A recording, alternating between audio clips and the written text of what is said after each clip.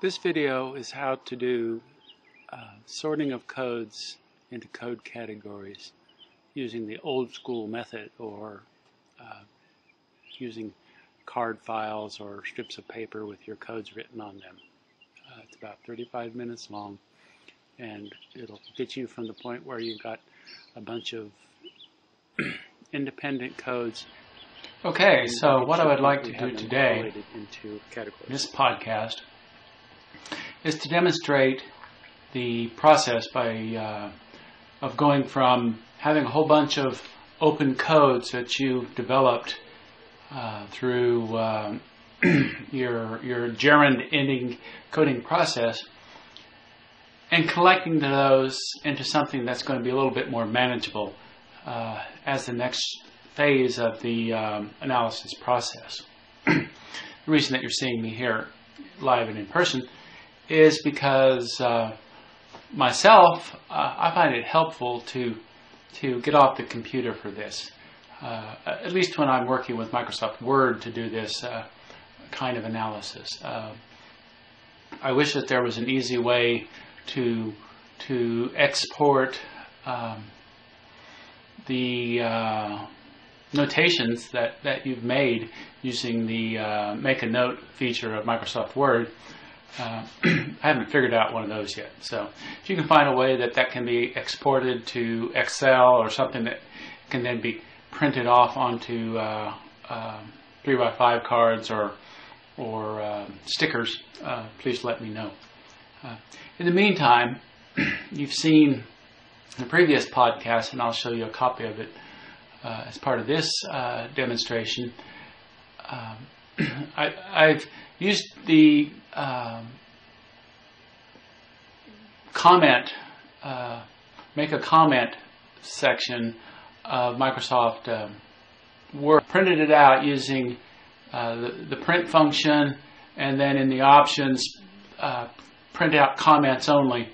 Uh, those I printed out to a piece of paper, and then I took it into to uh, our office and and sliced each individual uh, comment uh, into its own separate little piece of paper. So uh, you could use scissors for this, of course, uh, if you don't happen to have one of those industrial uh, paper slicers, paper cutters. So uh, I'll be showing you that also in a minute. Okay, what are we seeing here? this particular set of piles of, of cards are, are, not from this current project that I've been talking about in this podcast, but one from a previous uh, project. Uh, uh in, in, that, this is from my dissertation work. Uh, I coded out some 484 individual codes. I believe that was the number. And uh, what I did in that process was was uh, since I did it in, in Atlas, I could just export all those codes uh, into into a file and then import it into Excel and then print them off onto uh, uh onto a grid of of, of um, essentially business card size uh, grid and uh, printed it out with e with each code being listed on this card like this one is maintaining order in a meeting. So this one's uh, just has a little code printed on it, and uh, uh it's quick to see how if you have th this number of codes with uh, uh, with a, a, a, long project that took a couple of years from from start to finish, that uh, you have to have some kind of a mechanism to keep this stuff organized. Now, what we're dealing with is, is a much smaller set of code, uh, set of uh, documents, but still, we can uh, uh, help ourselves along the way by having some systematic coding system. So, I'm going to go ahead and replace these these cards and put them back in, in their cabinet. And uh, we'll come back and deal with the codes uh, from our student journals. Okay, sorting codes into piles is, uh, is a process that is not that dissimilar from uh, doing open coding. Uh, you're just simply taking the data as it comes. Uh, you can see here my, my strips of, of paper that I've, that I've cut off from, uh, um, from the printouts uh, of the memos from Microsoft Word. Uh, you, may, you may notice that some of them are pink and some of them are blue. Uh, if this video is of a, of a, high enough quality, you'll see that. Uh, that's not for any tracking reason. At least uh, uh, it wasn't intentional. Uh, that's simply because my ink printer um, ran out. Now, some people do use color coding systems when they're coding, particularly if they're if they're using multiple coders. Microsoft Word will automatically um, give a different color to different coders. So now what do I have here? Uh, my strips of paper uh, to review. Uh, in each one of the, the um, comments that I made that resulted in these pieces of, of, of paper when I was doing open coding, in addition to stating a gerund ending code, uh, I've also put uh, a another piece of information on here that, that is going to um, um, uh, help track me back to the original data. So in addition to the open code, which is jumping over hurdles in this case, I also put uh, the letter J and the number 4, which is my shorthand for Journal 4, and then open code, that this is an open code. What Microsoft Word does for me is that it, it gives me the um, information about this particular comment and where it lies in that Microsoft Word document. So I have page one, comment BP, that would be me, five. So this is this is the fifth comment that I made, and there's my name uh, uh, in this particular journal. Uh, and it also gives me a, a time stamp. Um, uh, in large and complex projects, uh, it may be important to know at what point in the analysis you emerged a piece of information. Uh, so, briefly, uh, I'll introduce you to the process. Uh, pull up and pull, pull out your, your, your stack of, of codes here, whether it be on cards like you saw before, or whether it be on little sheets of paper and you just simply read the comment, jumping over hurdles. Um, I don't specifically remember in the in the document exactly what that was talking about, but um, uh, it goes in a pile by itself since it's the first piece of information. It has to go by itself. Now, the second piece of, of information I get, and it comes from a different um, document, this was from Journal 1, an open code called Esteeming Field Instructor. So, is that seem to go with jumping over hurdles? And eh, not really. So, I'm going to make a new pile. So now I have two piles uh, going out there. Valuing relationship. This comes out of Journal 4. Uh, now, valuing relationship certainly seems to be similar in some respect to esteeming field instructor. So I'm going to go ahead and, and put that over in, in that pile. And, uh, and that pile is going to be about things related to, to uh, either being in relationship or, or uh, uh, uh, whether it be uh, a personal relationship or a, a relationship with an agency. Uh, what I would do at this point, I would make a little memo, just to let me know that, that that's what that is about. This other one over here called Jumping with Hurdles, it, it doesn't have uh, a categorical name yet. And uh, here's my code that just, that just simply says this is practice journal number one. I can kind of get rid of that one. That was just a, a, a business keeping note. Setting improvement goals doesn't seem to fit with either jumping over hurdles or those that stack of codes that has to do with with uh, valuing relationships. Driving oneself crazy doesn't go with valuing relationships. Certainly doesn't seem to immediately go with setting improvement goals. Jumping over hurdles, eh, maybe not. So we'll, we'll go ahead and put it in a pile all by itself again. Relying on my experience. Where does that fit in?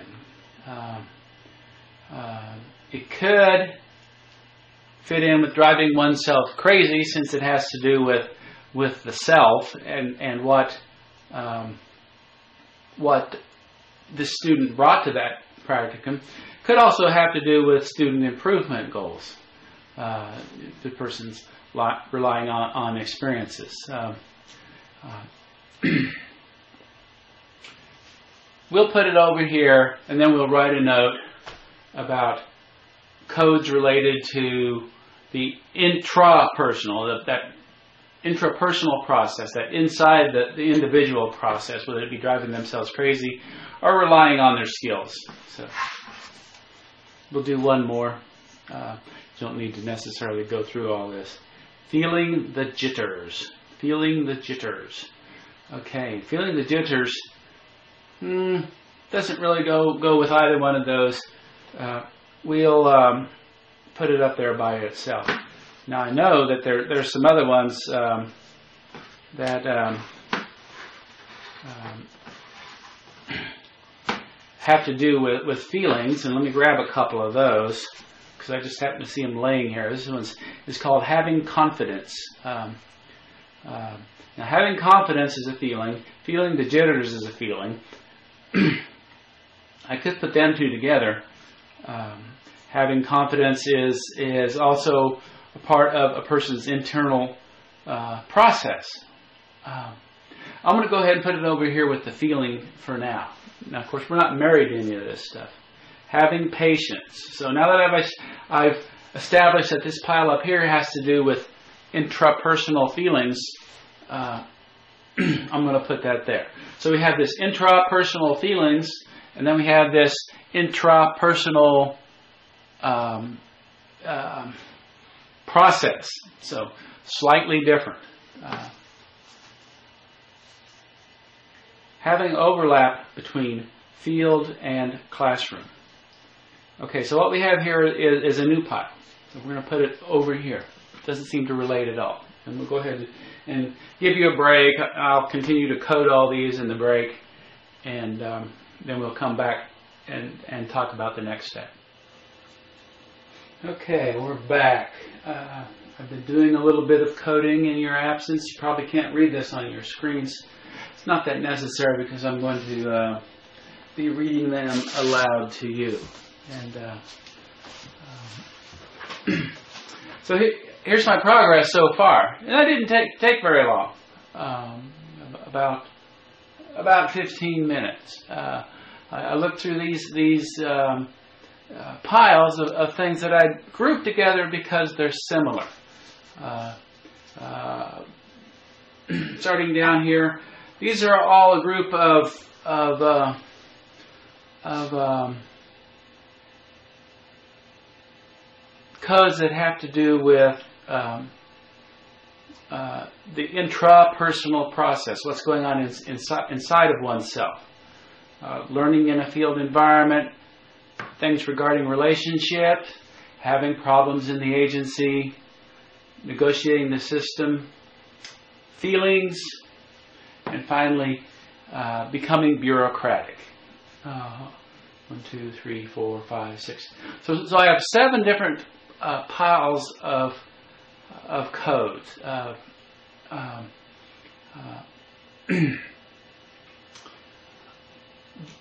one of the things that immediately jumps out at me is that some of the codes in in in, in some of these um, uh, piles could have maybe gone in some other um, piles as well.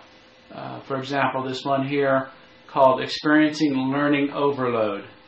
Uh, well, we have this um, uh, pile over here about learning in a field in, envir- environment. So we have something that's a little bit about uh, this person's internal process, um, and we have something that's um, um, about learning. So, so it, it, could go in, in either, and in fact, it can go in both. So, so we may make a note of that.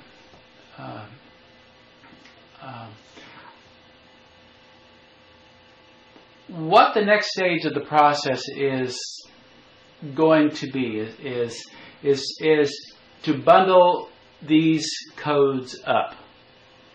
Uh, and uh, then we just let them sit for a day or two, depending on, on your schedule. Don't let them sit too long, but also just don't immediately go to it because because some of this stuff is really fresh in my memory. And and while I was coding certain things, um, like for example, uh, there was this this one up here about becoming bureaucratic. I could remember uh, when I coded uh, maintaining records. Uh, I remember that code. I remember what it was about. It was about uh, the, the, the students saving all their emails. Uh, you know, it was almost almost you know I almost wanted to say in, in the original code about being defensive because it seemed like they were they were um, uh, having some trouble with their agency, uh, coordinating schedule, getting their key, getting getting uh, uh, even permission to sit in the building where they're doing their practicum un- unsupervised. So so there's um, um, uh, something about a bureaucratic structure that, that kind of emerged out of that. Now, uh, I vaguely remember the one that I titled Being Oriented to the Agency, and that had something to do with being shown what to do, what goes where, how we do things here. Uh, again, uh, very much a bureaucratic response. You, in your human behavior curriculum, you'll read about bureaucracies and how they how they can create, on one hand, kind of a streamlined um, um, process where where uh, rules get set up, people operate by rules. They don't have to to uh, to reinvent interventions on every occasion. Uh, interventions tend to look similar across different workers. So there's a good good side of uh, bureaucracy, but the other side of bureaucracy is is that it does have rigid rules, and and in order to demonstrate that you're complying with the rules or that uh, your non-compliance uh, has to do with inflexible and rigid rules, people start to, to keep uh, keep keep keep records of what it is they're doing and why, uh, which can be good advice. Well, that's exactly what we're doing in this research process because uh, uh, we may, in, in a research uh, project, come up with um, information that challenges uh, uh, strongly held assumptions. we want to keep a trail going of, of how we got from the original data, those student journals, through these codes and these themes that are starting to develop, uh, and um, to an assertion. So, having let these things set for several days, we haven't really, but our next stage of the process would be to look at these these themes that we're developing. Um, since these individual codes have the ability to to be easily traced back to where they exist in the Microsoft Word document by our, our code that says J2 open code appearance of deceiving, we know it's the first comment in that particular um, uh, uh, Word document. We can easily go back to it and find it and look within the context of that code and see if it has to do with negotiating the system. If it does, it stays in that pile. If it doesn't, it it finds a new home or creates a new pile of its own. Um, so that that's ex- essentially this stage of the process uh, on open coding. Um, uh, we'll take a, a break and we'll come back, rearrange some of this stuff, and begin to take you into the next stage of the process. Okay, we're back now. Uh, what I what I've done uh, is to simply take all of the codes that that we had put into different uh, uh piles and um, uh, and clipped them together with the the note that that I made uh, as to the title of the theme. Now, an important note on, on titling these themes. These are just theme names that that uh, emerged to me from my interaction with the um, uh, with the data, uh, and it's going to be strongly influenced by how many times I've re- read and reread the data. It's going to be influenced, perhaps, by uh, vagaries of mood. so you know that that's part of the important reason why why we just don't sit down and do this all at once. Uh, so this isn't the kind of thing that you wait until you know the last uh, 24 hours before you're you're supposed to have a, a, report in to do. This is this is something that, that needs to to to uh, uh, ferment a little bit, you know, or to um, to to rise a little bit. And thinking of of, uh, of uh, uh, bread metaphor. Um, uh, so you, you have more of than what you, you, you might have had before. Uh, uh, so we have we have uh, these these seven themes, feelings, uh, in quotation marks I put them. Learning in a field environment, intra-personal processes, having problem with agency, regarding relationships, negotiating the system, and becoming bureaucratic. Well, there's a couple of things uh, that immediately jumps out uh, from this uh, from this reading, and that is there's a bit of relationship between negotiating the system and becoming bureaucratic. So what I'm going to do is to is to put these two together. Um, uh, and for now, I'm having negotiating the system be above becoming bureaucratic. So I'm tentatively assigning a little bit of hierarchical relationship there. That beca- becoming uh, bureaucratic is, is part of knowing how to negotiate a system. Uh, also within that group is is this um, having a problem with, within uh, uh, an agency. Again, this one is, is related to the negotiating the system uh, and uh, it may be more sideways related to becoming bureaucratic. Certainly, ha- handling problems within uh, a, a, system, negotiating with that, often involves knowing the rules and playing by the rules. Um, so you can see where we've, we've, really kind of cut our data down already. Uh, uh, learning in a field environment, feelings and intrapersonal processes, and regarding relationships. Uh, so we have these in, inter, interpersonal intrapersonal processes, and then we have these feelings. Uh, we're going to go ahead and kind of put them together in what may be a new super theme or super category, depending on whose language you, you use. Uh, so it's a broader theme that I may put under uh, something like uh, what's going on with the student. Uh, so that, we've cut that down. We have just two left. We have learning in a field environment, which I stuck up there already because uh, the context of, of this um, these journal articles, I mean these these these um, student journals are about their field ex- experience in a social work program.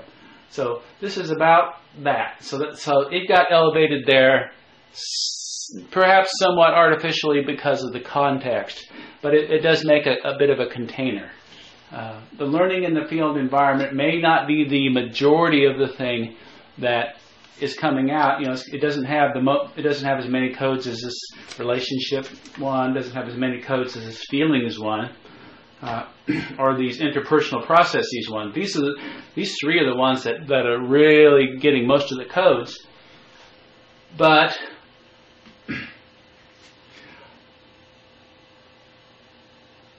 this is the container in which the, in which it, when it's uh, all all moving.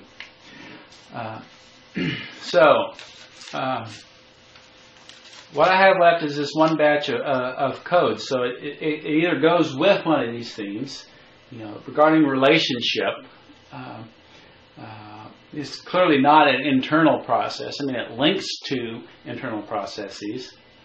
Uh, it is um, uh, certainly is an important aspect of negotiating um, a system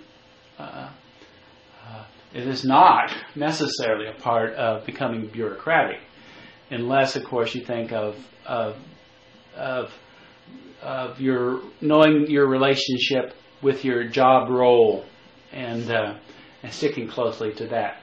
Uh, and it isn't necessarily that connected to having a problem with an agency. Um, so with that in mind, I'm looking around and say, where, where is this going to fit in? Is it going to fit in in its own pile? Um, and and what is just occurring to me um, while I'm doing this is, is, is maybe I can just stick it underneath learning in the in the field environment and kind of visualize uh, uh, uh, to myself a, a, sense of, of of connection. So so I'm going to put these pencils down as as as as arrows uh, indicate that that, that this relationship could have some kind of a mediating um, uh, uh, factor, so that, that these relationships, whether it be with the individual field instructor, instructor whether it be the uh, agency, helps to negotiate and mediate this internal process, whether it be reflective self-learning or whether it be feelings. Uh, and uh, the various things that are going on in the field, the, the, the learning about the system, the, the uh, resolution of problems, how to, how to, to work and survive within, within a system. So, uh, and thinking again of the, the overarching um, uh, theme that, that seemed to emerge out of, out of this first reading of the data I would put some kind of a of a indicator of a relationship between between uh, the uh, the learning in a field and and this stuff about relationship. And so uh, we're going to put pencils facing both ways. So um, we could have pencil, pencils focusing both ways on this one as well, so that whoops, I don't have both ends sharpened on that pencil. So, so the, the direction that the lead of the pencil is, is is facing shows some relationship. So we got some some relationship across these three. Uh, we've got the interpersonal uh, and the, the the agency being mediated by the relationships with individuals and, and agencies, and that has um, uh, and it plays, I guess, an important function in facilitating learning in a field environment. So that's that's my my quick analysis of of this um, um, uh, these sets of codes and uh, uh, what I'll provide for you uh, next in, in, a later in a later podcast will be moving out of the the three dimensional world where you've got pieces of paper that you can manipulate and, and move around and back onto the computer. Um, now, Microsoft Word doesn't have a very good mechanism for, for, for manipulating these codes around. and uh, uh, qualitative data analysis software such as Atlas TI and NVivo, they do have the capacity to to cluster theme uh, cluster codes into themes, cluster themes into super categories or super themes. Uh, but there's something I like about the feel of of of of getting out of that abstract and into the concrete uh, that I find very helpful. I mean, we're still going to go back.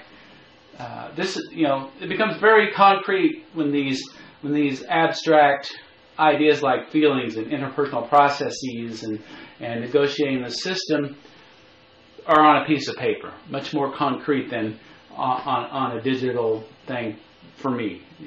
Uh, if you've been working with computers all your life, uh, maybe uh, it's a little different for you. But uh, uh, I still, this was the way I first learned how to to to, to do coding uh, all those years ago. so I still use it. Not saying that it's better than other methods. Um, it just works for me. I'm showing you this, and if you can recreate this or create what works for you using Microsoft Word or any other uh, technology that you might have access to, uh, I say go for it because that's really uh, it's not important how we we get to the understanding of what's going on in the data, which really is the world in which our participants are living.